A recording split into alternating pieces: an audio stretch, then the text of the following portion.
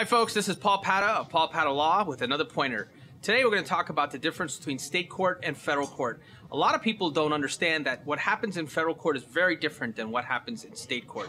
State courts are courts of general and broad jurisdiction, uh, having jurisdiction over things that occur under state law. For example, most car accident cases end up in state court. Any cause of action, generally sounding uh, or bringing a claim for negligence, is going to be in state court. Federal court is a court of much more narrow jurisdiction.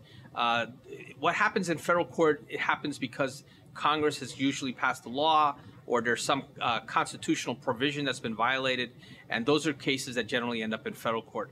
Having a lawyer who has the ability to go to both state court and federal court and understands the procedures and the differences is very important, and it gives you as a client a lot more power. State court and federal court, they're not the same.